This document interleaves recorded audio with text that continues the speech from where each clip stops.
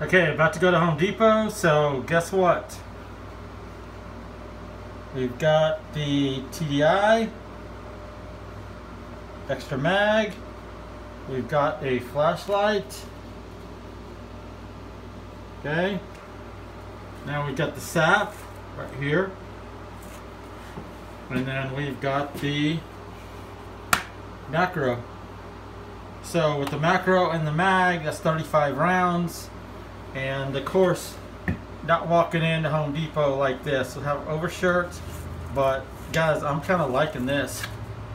Boom, bitches. Oh yeah. So, anyway, it feels good. If I can just put this one hand. Oh yeah, there it is.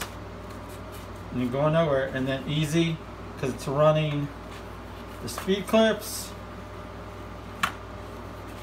out. Get one.